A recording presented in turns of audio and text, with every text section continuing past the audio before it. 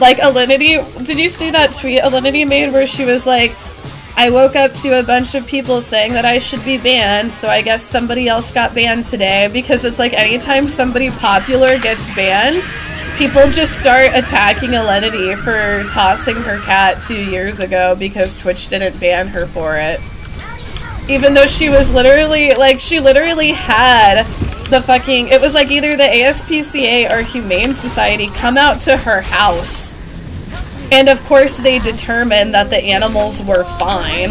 Like, apparently, people would rather have Alinity's animals taken away from her. Animals that are obviously very well taken care of and happy and satisfied. They would rather have them taken away from Alinity and locked away in fucking um, animal shelters because they hate women, I guess. I don't fucking know.